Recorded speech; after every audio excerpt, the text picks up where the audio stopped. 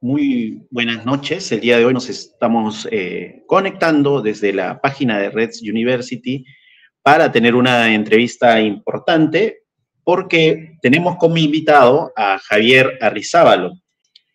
Buenas noches, Javier, ¿cómo estás? Un saludo desde Perú allá hacia España. Javier es muy conocido, es docente de la Universidad Complutense de Madrid, ha estudiado en Chile su maestría en planificación, en ILPES, es una persona muy reconocida en el campo académico porque ha llevado adelante una serie de textos que reivindican eh, las propuestas marxistas para transformar la sociedad. Arrizábalo, ¿qué tal? Un saludo. Brevemente, coméntanos cómo estás por allá, cómo están las cosas. Creo que has estado también por el continente hace poco. ¿Qué tal, Víctor? Un gusto.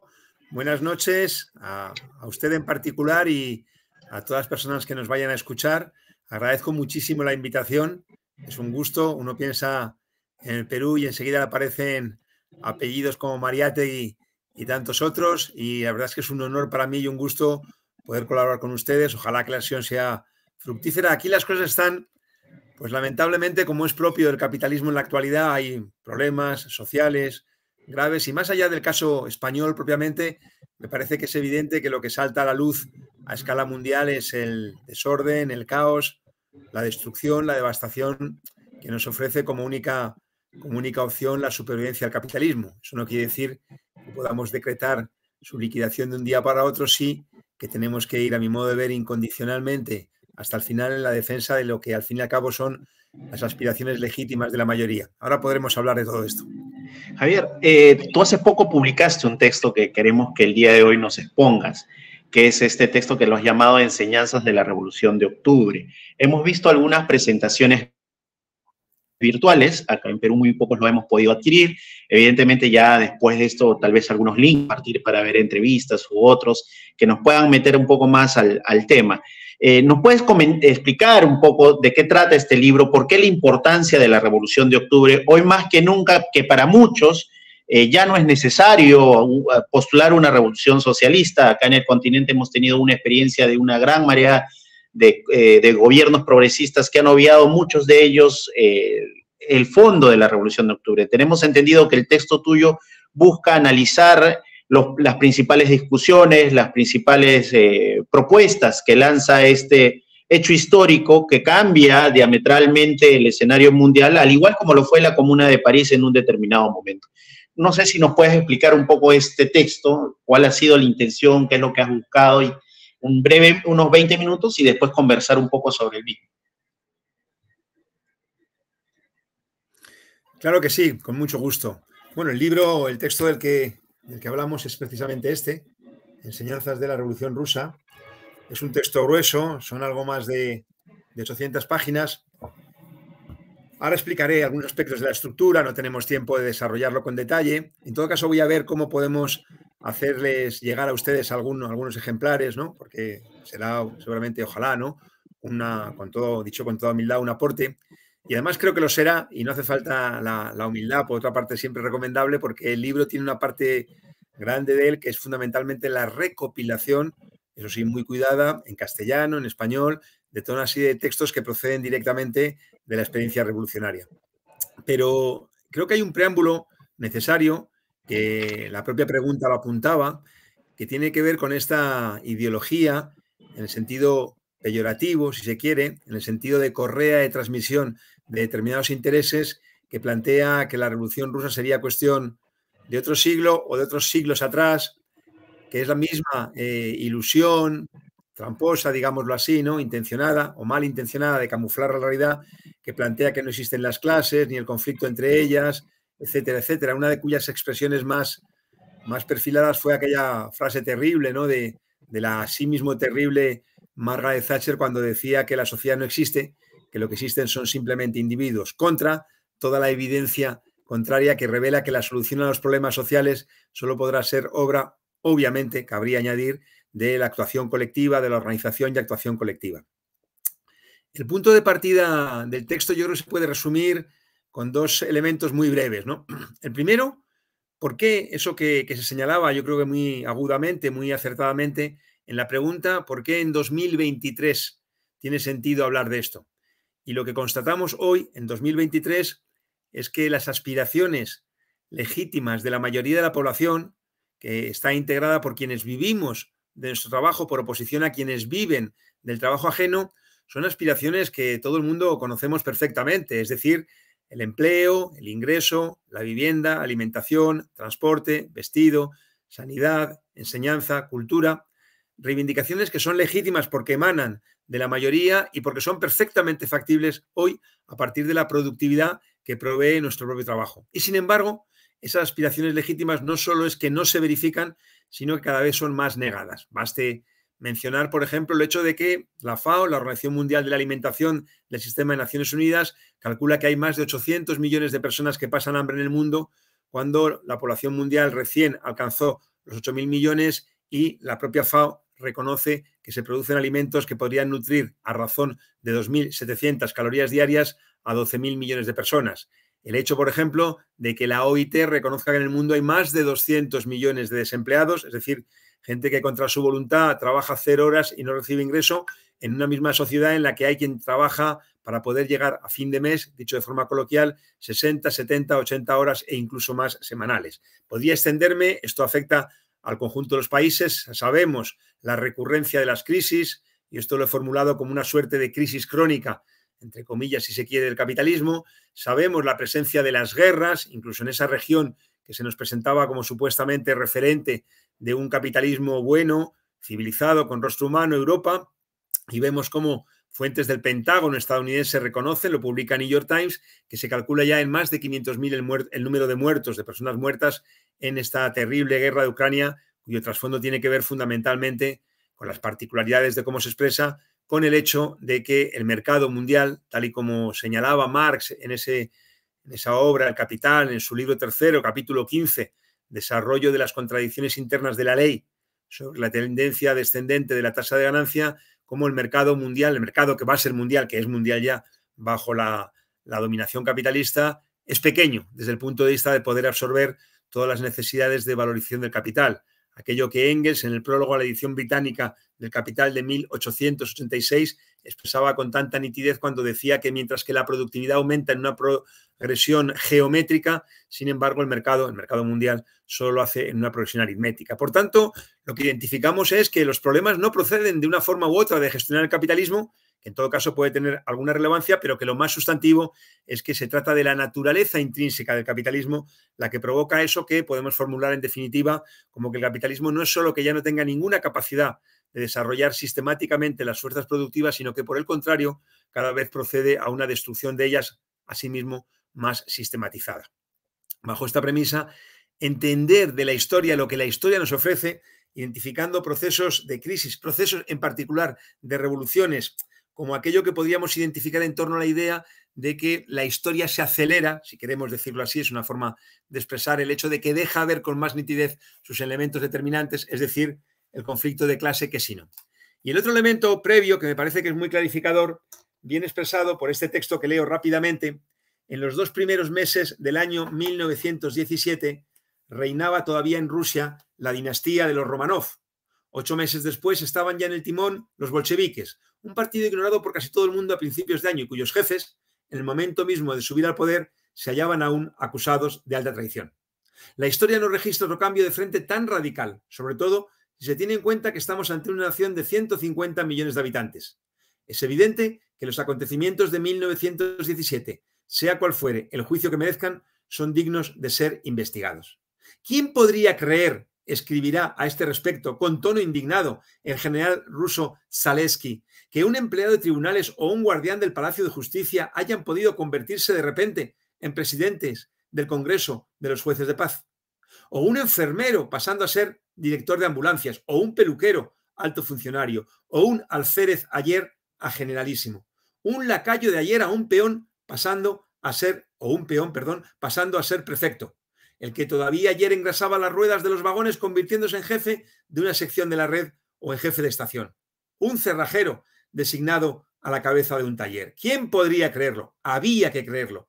No se podía dejar de creer en ello, ya que los alféreces habían derrocado a los generales, el prefecto, antiguo peón, había puesto en razón a los amos de la víspera, los engrasadores de ruedas de vagones habían organizado los transportes, los cerrajeros, en calidad de directores, habían puesto en pie a la industria Trotsky, Historia de la Revolución Rusa.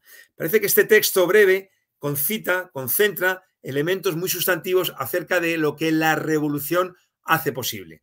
Una, una revolución que definimos, la, la fórmula es del propio Trotsky, en los términos más inmediatos, la irrupción de las masas en la vida pública para tratar de tomar las riendas de ella, las riendas de su vida. Bien, eh, el texto, por centrarme un poco y así tratar de ceñirme al tiempo que me, proponen, porque realmente la temática es prácticamente ilimitada, conecta con todo, hay un montón de elementos, voy a intentar ser muy esquemático y en todo caso quizá los aspectos que, que puedan ser de mayor interés podemos debatirlos posteriormente, incluso hacer una segunda sesión, lo que ustedes consideren. El libro se estructura en dos partes más un epílogo. El epílogo propiamente es lo que llamo las enseñanzas de la Revolución Rusa, entendiendo que en torno a este análisis no hay ninguna apreciación, ninguna aproximación nostálgica, ni tampoco de búsqueda de ningún recetario universal de aplicación inmediata. Hablando con compañeros, compañeras del Perú, me viene a la cabeza aquella, aquella, aquel congreso del año 1929, fueron dos, el sindical en Montevideo, el político en Buenos Aires, de la Tercera Internacional ya está linizada y esa delegación maravillosa peruana, inspirada en, las lecciones de, de quien cité antes, de José Carlos María Teguino, cuando planteaban las necesidades de adaptar cualquier discusión a las singularidades de Perú, precisamente estudiadas, estaba Portantiero, eran varios en la delegación, y cómo a las órdenes de Codovila, aquel dirigente siniestro, que también ocupó un lugar siniestro en la experiencia revolucionaria española, actuando contra ella en los años 30, decía que no había lugar eso y les marginaban. Está muy bien expresado en este librito del historiador tristemente fallecido Flores Galindo, la agonía de la comité en relación a, esta experiencia. Entonces, no, busco ninguna, no buscamos ninguna receta, no buscamos ninguna, ninguna panacea, si buscamos comprender, si buscamos comprender buceando en lo más potente de nuestra historia, historia de, repito, quienes vivimos de nuestro trabajo, la clase trabajadora. De modo que el libro tiene dos partes. Cuando se cumplía, se iba a cumplir el centenario de la Revolución Rusa en el año 2017, yo tenía detectada una falencia que era la ausencia en castellano de textos que recopilaran el conjunto, por lo menos, de los principales documentos, textos, resoluciones, decretos de la experiencia revolucionaria. Me di a la tarea de recopilarlos, una tarea bastante laboriosa, también bastante reconfortante, donde estuve obligado a cotejar distintas, distintos textos, distintas traducciones a distintos idiomas, consultar, casi masacrar a algunos amigos que, en particular uno colombiano y una búlgara que, que hablan bien eh, ruso me podían ayudar con textos directamente, pensaba que era positivo poner esos textos a disposición del conjunto del público que lee castellano desde el punto de vista de lo que nos puede aportar a la comprensión de eso que buscamos, es entender cómo se determinan los procesos sociales para dotarnos de instrumentos de cara a una intervención que verdaderamente pueda abrir una salida a los problemas. Ese es el bloque central del libro, antecedido por una introducción que al final fue bastante extensa, de algo más de 200 páginas, realizada por mí y del epílogo que decía. En relación a la presentación, bueno, yo sucesivamente abordo las distintas cuestiones formuladas en términos de preguntas. En primer lugar, situado, aunque brevemente en este, en este espacio, el por qué estudiar la revolución a la luz de no identificarlo como una experiencia ajena a nuestra realidad, sino conectada con ella, y por eso precisaré que no, no, en ningún caso formularía la tesis de que fracasó la revolución, me parece más bien todo lo contrario, mostró que había salida a los problemas, aunque esto no pudiera culminarse, menos aún en un país aisladamente, aquella fórmula de Buharin del 24 del socialismo en un solo país, acogida con entusiasmo por Stalin el 25, simplemente es frontalmente incompatible con todo el legado del propio partido bolchevique, de la tradición, tradición la tradición eh, del marxismo. Entonces, el punto de partida, fijado eso, es en primer lugar cómo estudiar la experiencia de la revolución bolchevique. E importa, a mi modo de ver, importa el método, importa de qué herramientas nos dotamos para intentar poner eso que coloquialmente podríamos llamar orden explicativo, es decir, la explicación, valga la redundancia, a lo que ocurre, partiendo obviamente de la base de que lo que ocurre no resulta de la casualidad.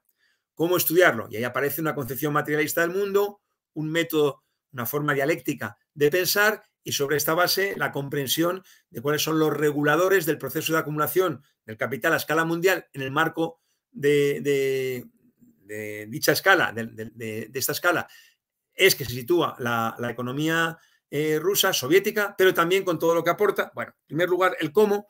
En segundo lugar, una cuestión muy interesante desde mi punto de vista que tiene que ver con por qué triunfa la revolución y por qué constituye un hito histórico. Esas dos preguntas se abordan en el segundo apartado de la, de la primera parte.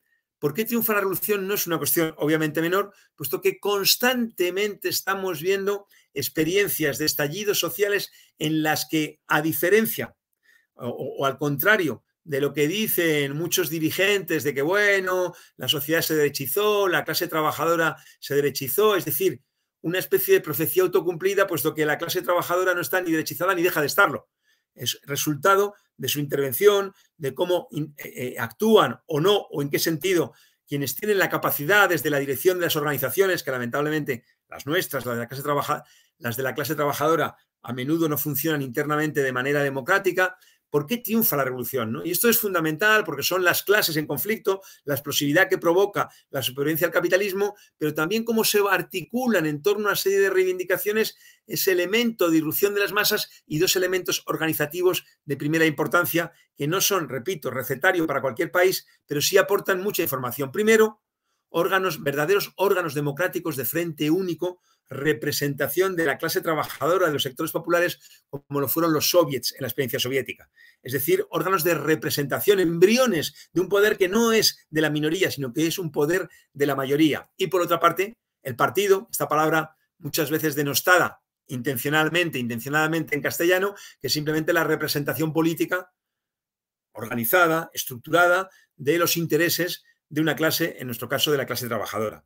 El partido que fue lo que hizo posible que, a diferencia de febrero del 17, el triunfo de la revolución en octubre del 17 no supusiera la cesión del poder recién conquistado a ciertos referentes, ciertos representantes de la minoría dominante, sino que por el contrario constituyera de forma inmediata un Estado, un Estado obrero, un Estado obrero y campesino, un Estado de la mayoría, un Estado que automáticamente en las primeras 24 horas y no esto que nos dicen hoy de 100 días de tregua algo parecido, un nuevo gobierno, en las primeras 24 eh, horas, perdón, emite decretos tan relevantes como el decreto de la tierra o el decreto de la paz, los que están más directamente pegados al sentir de esa sociedad que clama por el paz, por la paz, perdón, por el pan, por la tierra. ¿Por qué es una conquista histórica? En realidad, esto que estoy diciendo ya lo revela. Los decretos, las medidas, que inmediatamente, inmediatamente se pone en marcha y, ello a pesar del carácter atrasado, limitado de la economía rusa, que no permitía grandes saltos de un día para otro, habría sido distinto, eh, eh, eh, especulando retrospectivamente si hubiera triunfado la Revolución Alemana a finales del 18, principios del 19 o en el periodo 22-23. ¿no? El, hecho es, el hecho es que tiene lugar un proceso que automáticamente abre numerosas salidas. Y yo lo documento con todos los primeros decretos, decretos que plantean cuestiones de tanta relevancia, por ejemplo, y desde la perspectiva latinoamericana, como el repudio de la deuda, la prohibición de la especulación, la, decretar, eh, establecer la plena igualdad legal de la mujer y el hombre y poner los medios para que esto se verifique, el derecho de autodeterminación de los pueblos, qué importante, particularmente hoy cuando padecemos de nuevo, ¿no? Y, no quería dejar de, mencionar mi absoluta solidaridad con el pueblo palestino y constatamos cada día cómo, cómo se, se niega la soberanía nacional más elemental a un pueblo y además se le somete al genocidio que está en curso en estos días. Conquistas que tienen que ver con todos los ámbitos, con el ámbito de que sea la mujer quien decide sobre su reproducción de acuerdo a los medios técnicos disponibles, al conocimiento científico disponible, con el decreto que establece el derecho claro a la interrupción del embarazo, porque ya no va a mandar sobre el cuerpo de las mujeres ningún Estado, ninguna iglesia, sino que van a ser ellas mismas, aunque es verdad que en el año 1936 Stalin liquidó este derecho como tantos otros. Entonces me parece importante en el libro consignar, quizá, no sé, tu caso, Víctor, su caso, Víctor, el mismo mío, quizá no necesitamos consignar documentadamente por qué construye un hito histórico, pero me parece que para una discusión abierta y seria, rigurosa, es muy importante consignarlo. No es una cuestión, digámoslo así, de gustos, de ideología en un sentido superficial, sino de la constatación objetiva de cómo efectivamente, a partir de la expropiación del latifundio, a partir de la expropiación del capital, del gran capital, se abre la perspectiva de una sociedad en la que los recursos, las posibilidades de la nación se pongan al servicio del conjunto de la nación, con lo cual, lo cual se verifica eh, eh, de manera, yo creo, muy nítida en la experiencia, en la experiencia rusa. Automáticamente, visto esto, y frente a la ilusión que podría quizá tener alguien en la propia experiencia soviética, en la experiencia del propio partido bolchevique, había dirigentes que confiaban, ¿no? Los comunistas de izquierda, Bujari en ese momento, luego giró, ¿no? Este, cuando planteaban simplemente, estaba ahí también eh, un gran economista, planteaban simplemente la idea de que como que podría decretarse de un día para otro y no. La realidad es que lo que permite la experiencia revolucionaria triunfante es abrir una transición. Y esta palabra es muy importante porque a menudo se pervierte, se pervierte en Chile, en España, en Brasil, cuando se habla de una transición a la democracia que precisamente acota sus límites y que está basada en la terrible impunidad que padecemos en nuestros países, como se revela, por ejemplo, muy nítidamente en el propio caso español. ¿A qué dificultades se enfrentan? Y hay dificultades de distinta índole. Por una parte está la base económica tan atrasada. Por otra parte, hay aspectos situados en el terreno político, en el terreno cultural, en donde no se decreta, eh, valga la paradoja, hablando antes de sí, decretos jurídicos, donde no se puede decretar, imponer, establecer de un día para otro un cambio en la mentalidad de las personas, un cambio en la forma de conducirse. Hay una transición que integra necesariamente la retroalimentación de aspectos económicos y aspectos políticos, culturales, bajo la premisa de un funcionamiento democrático de las organizaciones de las que se ha dotado el propio proceso revolucionario. En este contexto de dificultades es donde se entiende lo que podríamos llamar una suerte de tormenta perfecta que permitirá, que hará posible, que llevará, de hecho, a la burocratización de la experiencia soviética. Yo lo planteo esto en términos de la siguiente pregunta. ¿Era inevitable una degeneración burocrática de la experiencia soviética? Y la respuesta es bastante sencilla, la respuesta es que no. Es verdad que muchas veces en el lenguaje coloquial, en, las conversaciones, digamos, más, más superficiales, se dice, bueno, todo acaba mal siempre, como si fuera una inevitabilidad. Pero habría que decir que la única argumentación posible para pretender que siempre acaba todo mal es decir que el ser humano es así. Pero ocurre que el ser humano no es de ningún modo descontextualizadamente del marco histórico en el que vive. Y cuando el marco es de transición, ahí se abre esta perspectiva de la propia modificación de los seres humanos en torno al proceso que les hace plenamente dignos, capaces, conductores de su vida en el día a día y esto de forma colectiva con todo el espacio para los deseos, las ilusiones individuales. ¿Es inevitable? No, no es inevitable. Y si no es inevitable, quiere decir, si no hay ninguna forma seria de argumentar que era inevitable la burocratización, hay que ir a las circunstancias particulares que concurren. Y esto incluye desde el hecho de esa base económica tan atrasada hasta el hecho que se expresa finalmente en la modificación, digámoslo así, sociológica del partido bolchevique, que pasa de ser un partido eminentemente de obreros y campesinos a acabar siendo un partido enseguida, en menos de una década, esto está muy bien estudiado en el libro de Pierre Brouet, El Partido Bolchevique, que pasa a ser un partido de funcionarios, esencialmente. Todo esto, voy atropelladamente, planteo muchas cosas en la idea de presentar el esquema. Todo esto está desarrollado con los datos correspondientes, con las citas correspondientes, etcétera, etcétera. A partir de esto, a partir de lo que acabo, acabo de exponer, hay un balance primero. El balance primero es que no creo que en ningún caso deba hablarse ni de fracaso ni de fin de ciclo, como muchas veces se dice, es decir, la idea de enterrar en la historia esta experiencia como si fuera algo del pasado, algo agotado, algo irrelevante hoy, siendo que lo que sostengo es que de ahí podemos encontrar muchos elementos que nos aporten a la comprensión de cómo funcionan las cosas y de cómo sociales y cómo intervenir en relación a ellas. En particular, es bastante disparatada esta tesis del fracaso, como se revela en el hecho de que si la experiencia soviética fracasó, es que podría haber triunfado, podría haber tenido éxito. ¿Y cuál habría sido su éxito? Su éxito habría sido que habría permitido en un solo país, aisladamente, completar la transición a una sociedad verdaderamente sana, a una sociedad comunista. Salta a la vista que eso no podía hacerse en ningún caso. Más bien lo que decíamos, lo que podríamos decir, y hay una anécdota muy interesante, y es que Rosa Luxemburg escribió un libro sobre la Revolución Rusa, que cuando en la cárcel, cuando sale de la cárcel en noviembre del 18, al calor del proceso revolucionario, sus camaradas, sus compañeros, compañeras le, explican que le faltan elementos, que no está muy fino y ya decide no publicarlo. Su albacea testamentario, cuando fue asesinada el 15 de enero de 1919, fue Paul Lavi, que se había salido con ella, con Liebnet, con otros dirigentes y con otros militantes fuera del SPD comprometido en la guerra imperialista de en la Primera Guerra Mundial, eh, finalmente este Laví vuelve al Partido Socialdemócrata y publica el texto.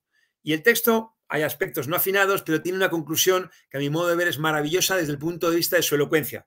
Dice, se puede discutir cualquier cosa, pero lo que revela la experiencia soviética, abre comillas, es que Lenin, Trotsky y sus amigos osaron, es decir, se atrevieron, mostraron que claro que es posible trabajar, poner los medios, avanzar en un proceso presidido por una orientación distinta, la transición a una sociedad sana que ponga el conjunto de recursos al servicio del conjunto de la población, lo cual, sabemos, se hurta y ese proceso de transición se revierte a partir de finales de los años 20 y se culmina esa reversión con las purgas de los primeros 30 que liquidan todo espacio de discusión democrática en el seno no ya del partido bolchevique, sino de la propia sociedad rusa, soviética en su conjunto. Por ejemplo, los soviets dejan de reunirse, por ejemplo, la Comisión de la Mujer, eh, la CENODEL del Comité Central deja de reunirse, etcétera, etcétera.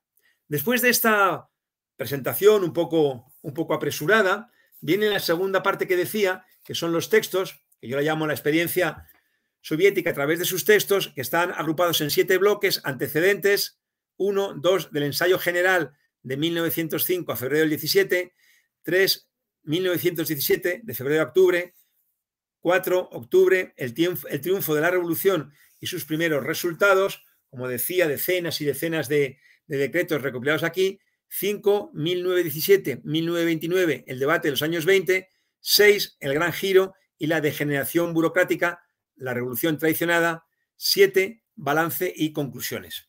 También siempre contextos originales de la revolución, de, los propios protagonistas. La, revolución rusa tiene una particularidad a mí me parece muy llamativa, es que los propios dirigentes fueron grandes teóricos.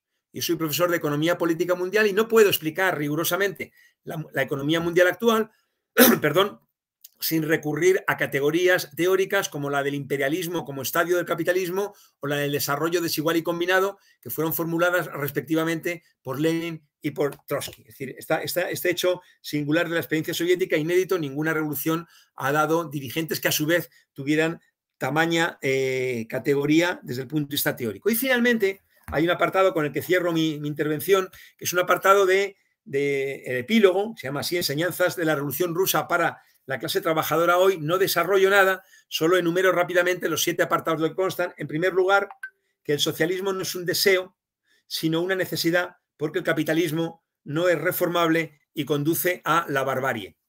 En segundo lugar, el camino al socialismo se abre con la revolución. Ninguna ilusión en una cesión gratuita, amable, de privilegios por parte de la clase dominante, la clase explotadora. Tres, la toma del poder por la clase trabajadora exige su organización soberana con órganos de frente único y un partido obrero independiente, cuestiones a las que aludía, aunque muy de pasada, muy esquemáticamente. Cuatro, un Estado obrero no es el socialismo pese a las capacidades que abre. La transición al socialismo necesita un amplio desarrollo de las fuerzas productivas y, por tanto, la extensión mundial de la revolución. Cinco, combatir el riesgo de contrarrevolución. Nada está garantizado, nada está asegurado. Desde fuera y desde dentro, esto es centralismo democrático, plena libertad de discusión y, a partir de ella, plena unidad de acción y desarrollo de las fuerzas productivas. Seis, la clase trabajadora puede y debe aprender las enseñanzas de la historia. Y siete, dividido en dos partes, conclusión final, qué hacer para resolver los problemas actuales que no dejan de agravarse, qué aporta la experiencia soviética al respecto. 7.1, son dos puntos. Tenemos la alternativa, el camino al socialismo y el comunismo. Hoy es perfectamente viable año 2003, que toda la población mundial tenga la cobertura holgadamente de sus necesidades materiales y a partir de ahí que pueda desplegar todas las capacidades que definen al ser humano como especie, lo cual es negado para la inmensa mayor parte de la población mundial, incluso y cada vez más en las economías históricamente identificadas como avanzadas. Y en segundo lugar, tenemos el instrumento que no puede ser que el de la organización independiente de la clase trabajadora, bajo la premisa de que solo hay una forma de defender las aspiraciones, las reivindicaciones sentidas, legítimas de la mayoría, que es hacerlo incondicionalmente, organizándose de forma independiente para defenderlo incondicionalmente, sin someterlo a ninguna condición. Y por tanto, hasta el final.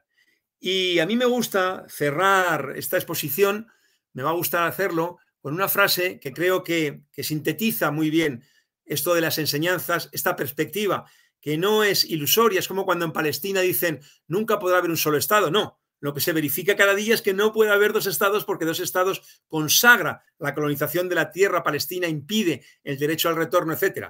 Ocurre algo, podemos decir, análogo desde el punto de vista de que frente a la idea de que sería inviable una sociedad construida sobre bases sanas, la realidad muestra lo contrario, la experiencia soviética así lo reveló con todas sus contradicciones, dificultades de generación final, y hay una frase, precisamente, lo cité antes, del propio Trotsky, de un texto que se conoce como su testamento, que dice, la vida es hermosa, que las futuras generaciones la libren de todo mal, opresión y violencia y la disfruten plenamente.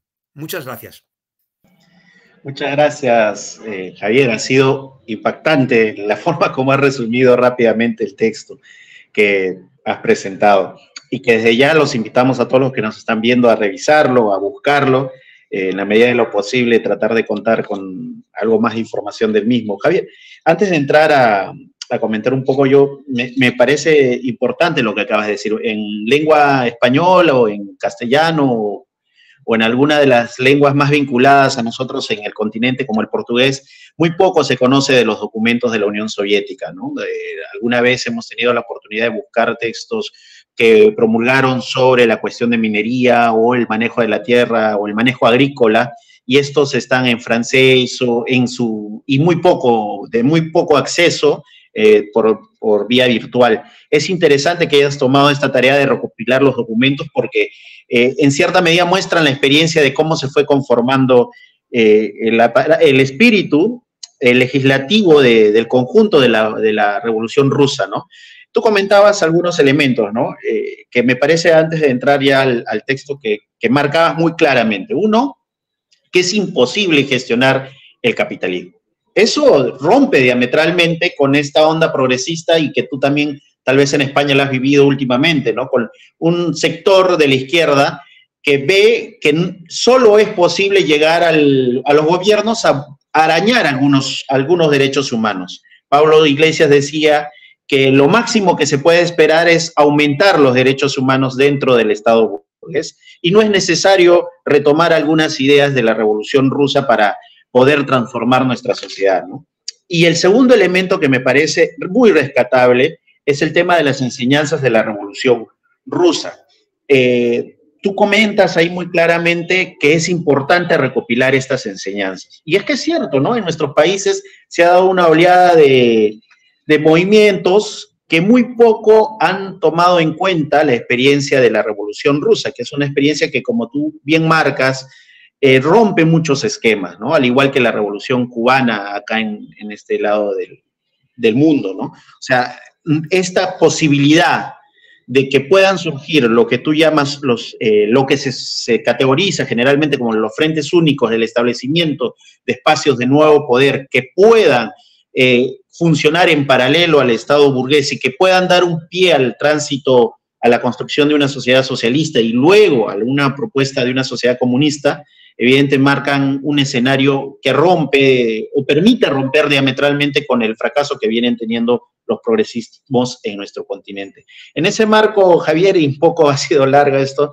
eh, ¿nos podrías reseñar en, actualmente cómo ves esto? O sea, porque mucho, ve, mucho en nuestros países vemos que hay la necesidad de los grupos de izquierda, y hay, una gran cantidad de grupos de izquierda, eh, que ven la necesidad solo de gestionar el capitalismo. Y segundo, obvian las enseñanzas de la Revolución de Octubre. Eh, ¿cómo, ¿Qué consideras, qué perspectivas ves o cómo se tiene que abrir este debate? ¿no? Y creo que tu libro apunta un poco a eso. ¿no? Sí, excelente. Tres cositas muy rápidas, o intento que sean bastante rápidas. ¿no? Eh, primero, nosotros, yo tengo un libro publicado en 2014 que acaba de salir originalmente, la tercera edición, y en estas semanas va a salir una edición portuguesa en, portugués en, en, Brasil, se llama Capitalismo y Economía Mundial, cuyo contenido, también un libro muy extenso, más de 700 páginas, cuyo contenido sustantivo es demostrar desde el punto de vista de la combinación de la aproximación teórica e histórica con los hechos empíricos, con, la, aproximación empírica, que el capitalismo no es reformable. ¿Por qué? Porque si nosotros hablamos de capitalismo, hablamos de rentabilidad. Y nosotros sabemos que las exigencias de la rentabilidad, y por eso lo que dice Pablo Iglesias no es verdad, no es que en el marco del capitalismo se pueda avanzar en ciertos derechos humanos, al contrario, en el marco de la supervivencia del capitalismo, incluso lo que fueron conquistas históricas de la clase trabajadora están puestas en el punto de mira. Eso expresa con mucha nitidez. Perdón porque parece un comercial. Eh, recién he publicado la segunda edición de mi libro sobre la experiencia chilena durante la dictadura que les queda cerquita.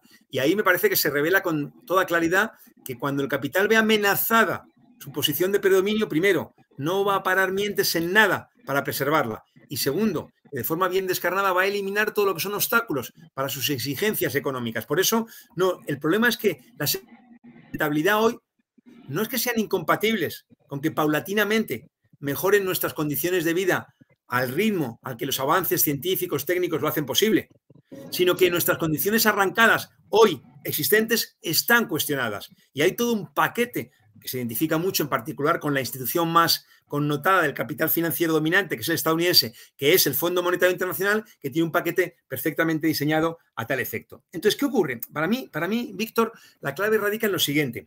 Hay un texto muy recomendable, muy cortito, se encuentra fácilmente y de todos modos los textos que propongo, si, quieren me los piden y yo se los, se los envío. Un texto muy corto de Rosa Luxemburg del año 1899 que se llama Una cuestión táctica.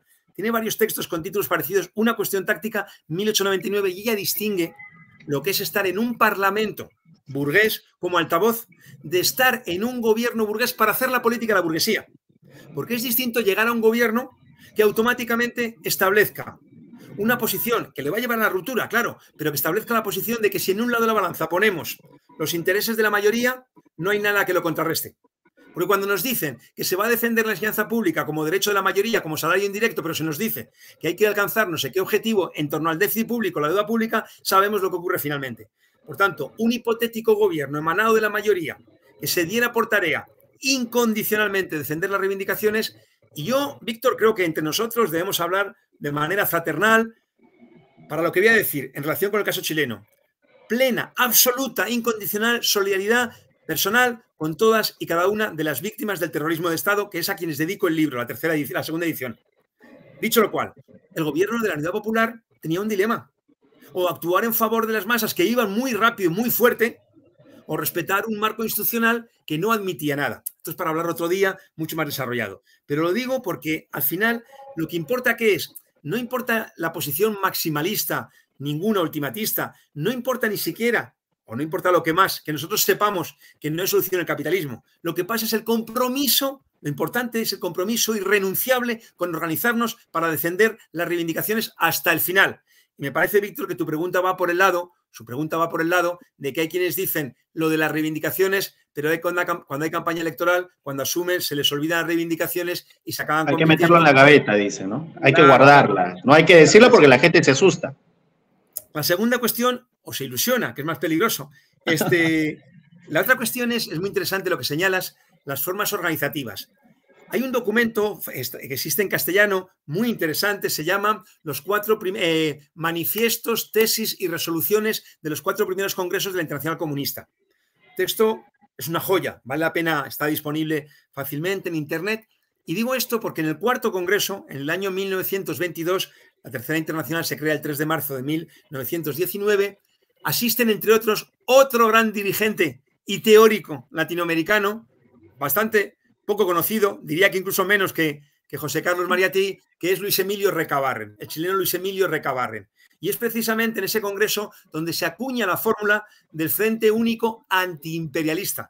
La fórmula del Frente Único Obrero no puede ser universal cuando hay países en los que no hay clase obrera como tal, resultado de su posición dominada, etc. Frente Único Antiimperialista. Es muy interesante porque cuando, por ejemplo, a partir del año sobre todo 35 se establece ¿no? Por esta cosa del etapismo, hay que decir que 13 años antes ya la verdadera tradición marxista bolchevique en Rusia tenía identificado que no había un recetario para todos, como el Congreso de los Pueblos del, Este, etcétera, etcétera. ¿no? Entonces, eh, y lo último, muy breve. Mira, leo, no, no, entero porque es un montón, pero leo algunos porque creo que responde o, que aborda bien lo que tú señalas, alguno de los, de los textos de ese bloque en el triunfo de la revolución y sus primeros decretos.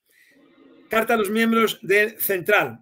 Eh, a los obreros, a los soldados, a los campesinos. Resolución sobre la formación del gobierno obrero y campesino. Decreto de la paz, decreto de la tierra, decreto sobre el control obrero, declaración de derechos de los pueblos de Rusia, decreto sobre el régimen de ratificación y promulgación de las leyes, decreto sobre el derecho de revocación, decreto contra la especulación, orden contra los especuladores, decreto de creación del Consejo Superior de la Economía Nacional, decreto de nacionalización de los bancos, decreto sobre la puesta en práctica de la nacionalización de los bancos y las medidas indispensables derivadas de ella, decreto sobre la cancelación cancelación de préstamos estatales, decretos sobre la supresión de las herencias, sobre la duración del trabajo, el límite de edad, el trabajo de las mujeres, sobre suspensión de trabajos y condiciones de despido y registros obreros, nacionalización del comercio exterior, armisticio y paz inmediata, milicia obrera, eh, apoyo material a revolución mundial, igualdad de derechos de todos los militares, principio efectivo y organización de la autoridad dentro del ejército, ratificación del Tratado de Brest, la paz, formación del Ejército Rojo de Obreros y Campesinos, instrucción militar obligatoria, prensa,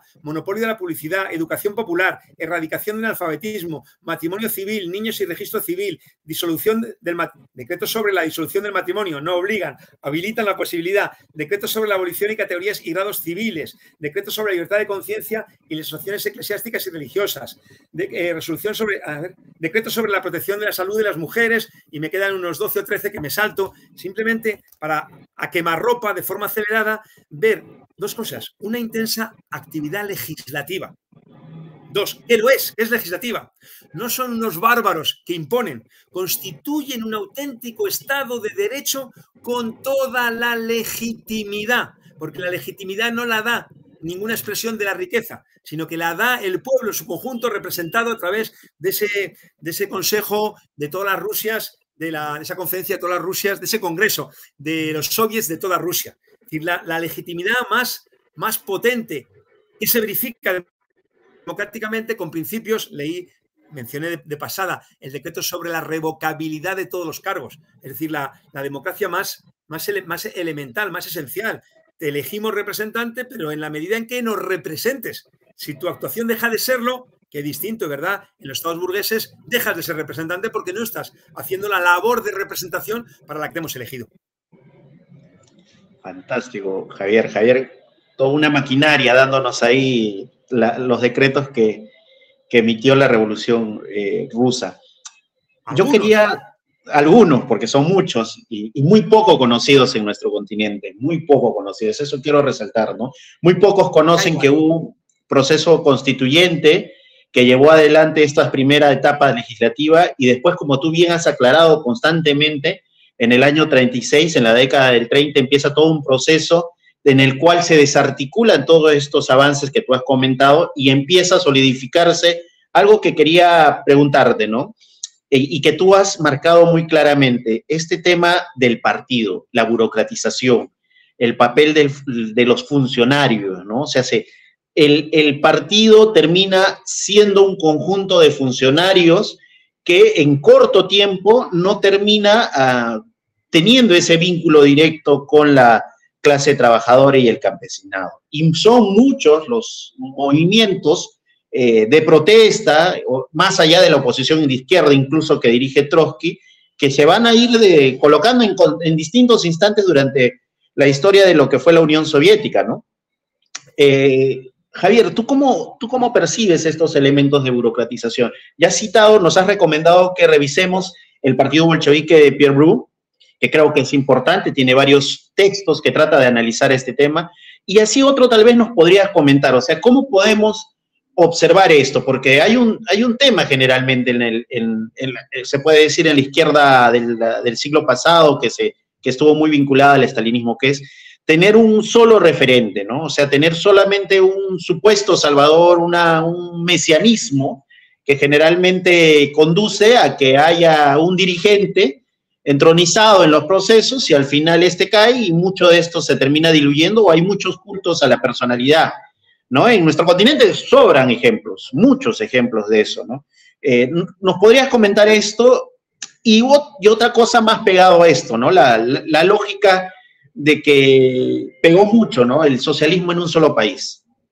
Eh, María Tegui, como tú bien habías eh, eh, hablado al inicio, tomando en cuenta este libro de Flores Galindo, eh, la agonía de Mariate y la discusión con el comité eh, que se dio, que es un texto magnífico de Flores Garindo y que y es virtualmente, ustedes lo pueden encontrar en cualquier parte.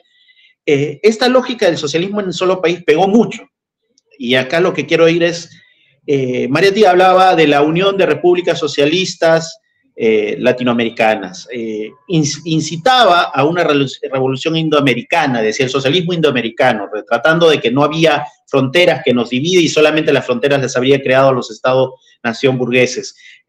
¿Tú cómo ves este escenario? Hoy en día levantar la perspectiva del socialismo por fuera de un solo país es factible. Luego, tú que paras viajando, tú que paras en los distintos debates, ¿es cada vez más metido este tema o se sigue viendo estas restricciones? Porque más allá de que puedas levantar un programa internacionalista, eh, suele suceder de que no hay ese chip de que solo esto se puede conseguir aún eh, por medio de una revolución a escala mundial y es que era y es algo que tú bien has retratado con este texto de los de los cuatro primeros congresos de, del Internacional Comunista. O sea, es, la esperanza era la revolución en Alemania, ¿no? Para poder oxigenar lo que venía sucediendo en la Unión Soviética.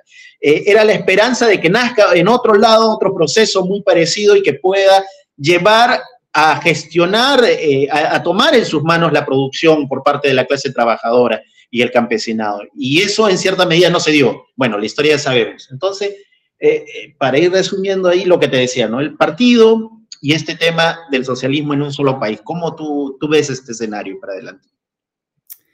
Eh, bueno, una, una, precisión solamente. El tema de la Asamblea Constituyente, yo creo que merecería una discusión específica.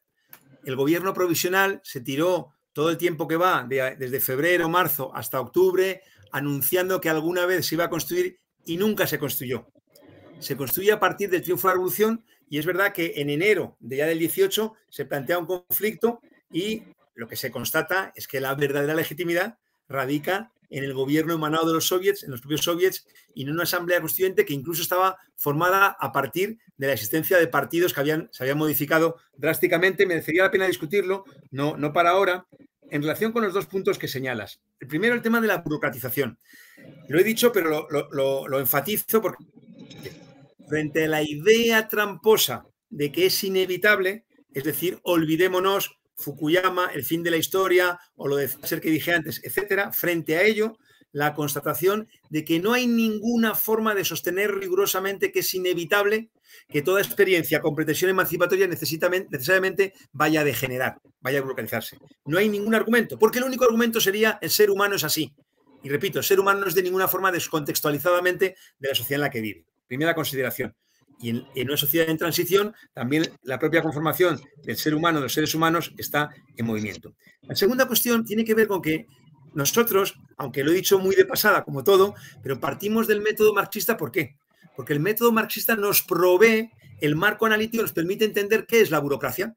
¿Y por qué esto? Bueno, en primer lugar, en primer lugar, porque nosotros se puede resumir con dos textos. Estoy hoy muy recomendador de bibliografía. Hay uno que muy emblemático, el prólogo a la, contribución a la crítica de la economía política de Marx de 1859, donde explica el lugar que ocupa la base material, muy simplificadamente el ser determinada conciencia, conjuntamente con un otro texto que es una joya, es una carilla, estrictamente, de Engels, la carta Bloch, donde él explica ha podido ser malinterpretado lo que Marx y él mismo decían cuando discutían con filósofos idealistas y por lo tanto tenían que enfatizar el apartado material sin que esto, lo que coloquialmente solemos llamar economía, sin que esto determine, salvo en última instancia, bueno, ¿Esto qué explica? Explica, Víctor, explica, compañeros y compañeras que puedan escuchar, implica lo siguiente, implica que la base material importa. Es que lo que importaba de Alemania no solo era la oxigenación desde el punto de vista de la experiencia, como muy bien ha señalado usted, Víctor, sino también el hecho de que en Alemania había una base material ligada a la industrialización que permitía proveer condiciones para la mejora inmediata de las condiciones de vida de la población, del conjunto de la población, cosa que en Rusia estaba mucho más limitada por su atraso. Todavía en el año 30, en Rusia el 70% de los salados eran de madera. ¿no? Entonces, esto importa por qué? Porque sobre la base material de las limitaciones del proceso revolucionario en un país, en una economía tan atrasada, el hecho es que se constituyen, y esto es muy importante, intereses distintos. A nosotros en el análisis social nos importa todo, y nos importan los nombres, los términos, los conceptos, las categorías teóricas. Por eso, aunque en la Unión Soviética no existían clases, sí existían grupos sociales, en particular una casta, una capa burocrática, que tenía intereses propios.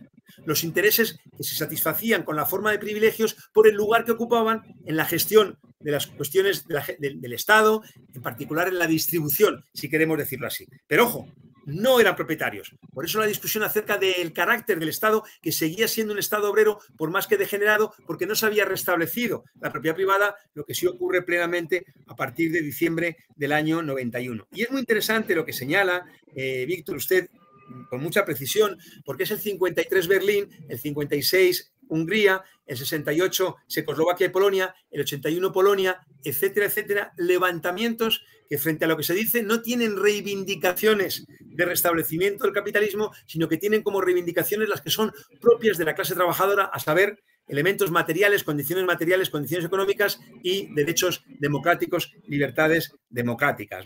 Ahí, ahí se hace una trampa, digamos, mezclado todo eso, pero para abreviar, porque soy muy bastante prolijo, por no decir pesado, la cuestión del socialismo en solo país, etc. En 1848, 1848, Marx y Engels, o Marx sobre la base de un borrador de Engels, cuando redactan el programa del partido recién constituido, la Liga de los Comunistas, en 1847, que reemplaza. Javier, ¿nos escuchas? Javier ha tenido un inconveniente. Son iguales. De los comunistas que decía, proletarios del mundo unidos, lo que plantea. Javier. Javier, ¿me escuchas? Vas a tener un contenido mundial, aunque presente formas nacionales. Esa diferencia es muy importante. Contenido mundial, formas nacionales. Las reivindicaciones de todo. Vengo de estar en Chile en septiembre. En Chile, como en Perú, como en España, en cualquier sitio, hay una reivindicación elemental de la clase trabajadora sentida de manera directa, que es el salario diferido, la pensión de jubilación, no tener que trabajar hasta el último día de la vida para poder seguir viviendo, pagando un alojamiento, pagando la comida, el transporte, el vestido, etcétera, etcétera. Eso que esa reivindicación común de la clase trabajadora de cualquier país, ¿qué forma toma en Chile? Recuperar el sistema que fue destruido por la dictadura. Porque no se puede decir privatizar la seguridad social. No existe tal cosa de una seguridad social privada. Si es privada, no es seguridad social. Seguridad social, el concepto define el hecho de que la sociedad provee seguridad con la forma de subsidio, salario, lo que sea. Este, de salario, salario diferido, salario indirecto, etcétera, etcétera. En España, sin embargo, la misma aspiración de la clase trabajadora chilena toma una forma distinta la preservación del sistema de seguridad social digno de este nombre, más allá de sus debilidades, es objeto de ataques. No sé si me explico. Y esto es importante ¿por qué? Porque al final, ni calco ni copia, sino creación heroica. Porque al final, al final, de lo que se trata, nosotros publicamos un libro, no lo, aquí, no lo tengo aquí delante, pero se encuentra fácilmente, un libro colectivo que se titula O inventamos o erramos.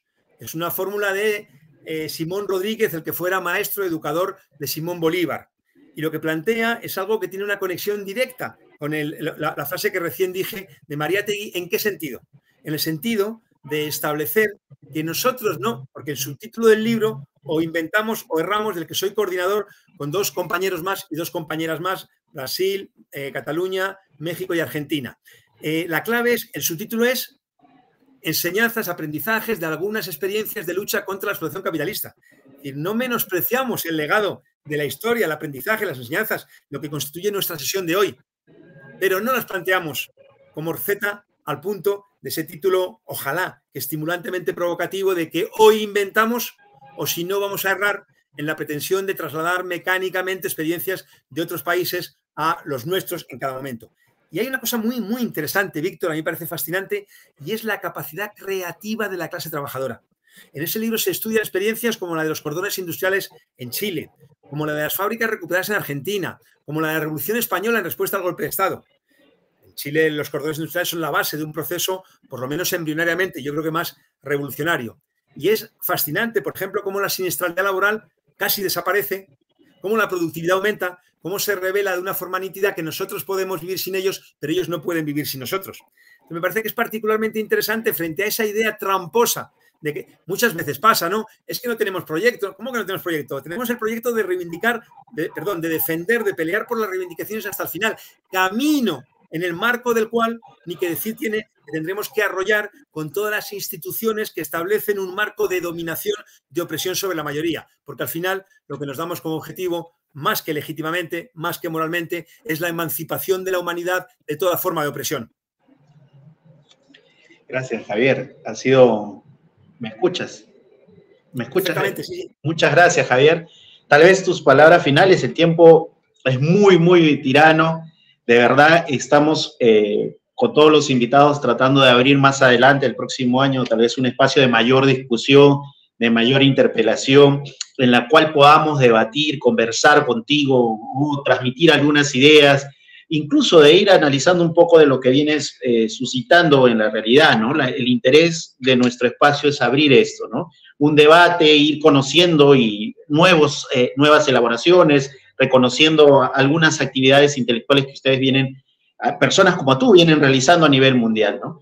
Eh, Javier, tal vez tus últimas palabras, algunas recomendaciones y último, desde ya, invitarte para una próxima sesión. Es interesante lo que has hablado, tu, tu texto sobre, sobre Chile. Muchas veces se idioniza, o sea, se, se crea un mito sobre lo que sucedió en Chile y no se ve el fondo de qué en verdad ha movido o qué es lo que sucedió y creo que tu crítica ha sido muy el elemento principal lo ha marcado al final, ¿no? Se demostró que ellos no pueden vivir sin nosotros y nosotros, más bien, sí podemos vivir sin ellos. Eh, creo que eso marca, marca mucho de lo que proponemos en el fondo. Nosotros creo que los que nos consideramos marxistas no proponemos eh, ser unas sanguijuelas o vivir de un Estado burgués, no. Proponemos poner al servicio de toda la clase trabajadora y de, los campesinos, las fuerzas productivas para llevar adelante eh, un desarrollo. Y eso implica la constitución de un nuevo poder.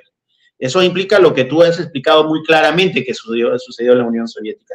Eh, te digo que te invito a una próxima, tal vez tocar, coordinar. Nos parece interesante también este texto que has hablado de capitalismo e imperialismo que vienes, que has desarrollado y que creo que es parte de, las clases que brindas en la, Unión, en la Universidad Complutense de Madrid. Eh, y ya, desde ya la invitación está extendida, Javier. Espero que pronto podamos contar con otra charla pequeña. Yo sé que ha sido muy opresor el, día de hoy el tiempo. Tus palabras finales, Javier.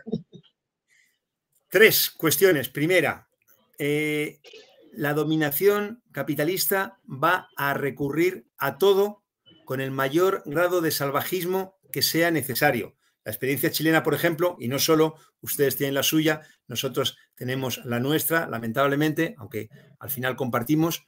Primera consideración. Segunda consideración, a mí me gusta comparar a la clase trabajadora con una suerte de organismo vivo que como tal tiene instinto de supervivencia. Y por eso a partir de, a pesar de derrotas, a pesar de traiciones, a pesar de represión, aquí opera lo de Galileo y em, eh, por si mueve y sin embargo se mueve.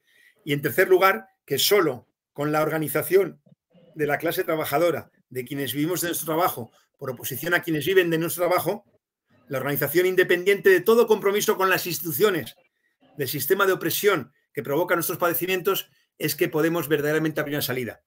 Yo no tengo ningún problema en que me presentéis como el hecho objetivo de que mi medio de vida es ser profesor universitario, pero me define mucho más mi condición de trabajador consciente y de militante, porque sé que solo a partir de la organización, de la intervención en la lucha de clases, motor de la historia, es que se puede abrir la salida que verdaderamente corresponda con este nombre de salida. Muchísimas gracias y encantado a su disposición.